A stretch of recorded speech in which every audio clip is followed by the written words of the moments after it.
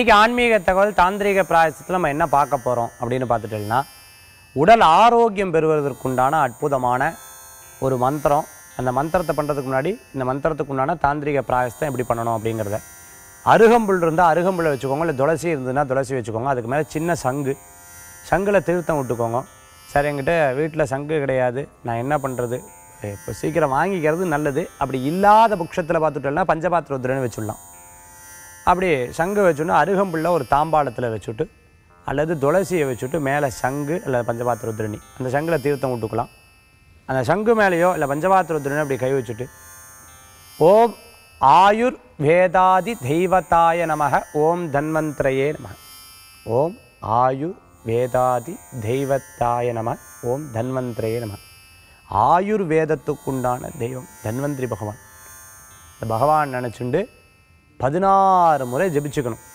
இந்த பதினாறு முறை கீழே தாம்பாளத்தில் கையில் வச்சுண்டு அந்த சங்கு மேலே நம்ம கையில் வச்சுண்டு நல்ல மனசார வேண்டிக்கணும்.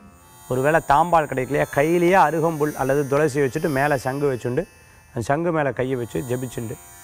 அந்த சங்கில் இருக்கக்கூடிய தீர்த்தத்தை அப்படியே கொட்டினேன்னா அருகம்புல் வழியாவோ அல்லது துளசி வழியாவோ கொட்டினோன்னா அதை புரோக்ஷனம் பண்ணிக்கணும் அந்த தீர்த்தத்தை குடிச்சுக்கணும் வீட்டில் தெளிச்சு விடணும்.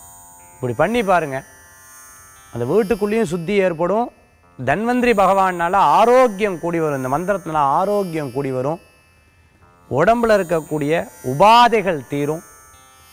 அதே மாதிரி பெரிய பெரிய உபாதைகள் இருக்கும்போது நம்ம மருத்துவரை பார்க்க போகிறோம் இல்லையா? அதற்கு இந்த மந்திரமும் உதவிகரமாக இருந்துருக்கும். நம்ம சாப்பிடக்கூடிய மந்திரமும் நம்ம உடம்புக்கு நல்ல வேலை செய்யக்கூடிய அனுகிரகத்தை பகவான் கொடுப்பார். நம்பிக்கையோடு செய்யணும். மகாவிஷ்ணுவை பிரார்த்தனை பண்ணிக்கணும் தன்வந்திரி பகவானை பிரார்த்தனை பண்ணிக்கணும் இந்த மந்திரத்தை சொல்லிக்கணும். அதே மாதிரி இந்த சங்கில் இருக்கக்கூடிய தீர்த்தத்தை இப்போ டெய்லி பண்ணிவிட்டேன்னா பெரிய மாற்றத்தை கொடுக்குற அளவுக்கு இருக்கும் உடல் ஆரோக்கியம்.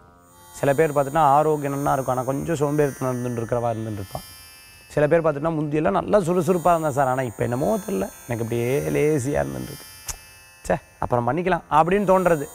இப்படி இருக்கிறவாளுக்கெல்லாம் இந்த மந்திரம் ரொம்ப விசேஷகரமாக இருக்கும். நான் சொன்ன தாந்திரிய பிராயசத்தம் ரொம்ப விசேஷகரமாக இருக்கும். மீண்டும் நாளை சந்திக்கும் வரை உங்களிடம் இருந்து விடைபெறுவது ஜோதிஷாச்சாரியா ஜோதிஷ கலாரத்ன மகேஷி. மனசில் இருக்கக்கூடிய நிறைய வருத்தங்கள் என்ன பண்ணணும் சார்? என்னமோ யோசிச்சுட்டே இருக்கேன்னு தோணின்னு இருக்க கவலையே படாதீங்க. முருகப்பெருமான் இருக்க நிச்சயம் அனுகிரகம் பண்ணுவார். எல்லா விஷயங்களும் மாற்றம் கிடைக்கும். வேல் வேல் முருகா வெற்றிவேல் முருகனுக்கு கரகரோகரா நன்றி.